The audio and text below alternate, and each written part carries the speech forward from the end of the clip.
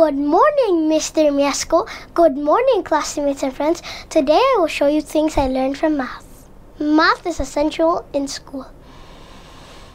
Appreciate God's message as our goal. To achieve order for everyone's soul, service to God and others is our role. God's vision is addition and multiplication. Add more souls to serve God in the nation. Subtract and divide all evil thoughts, the battle every day we fought. God continues to subtract sinful actions because these create fractions. Love for the truth is a must to multiply to make Cebu a better place to occupy.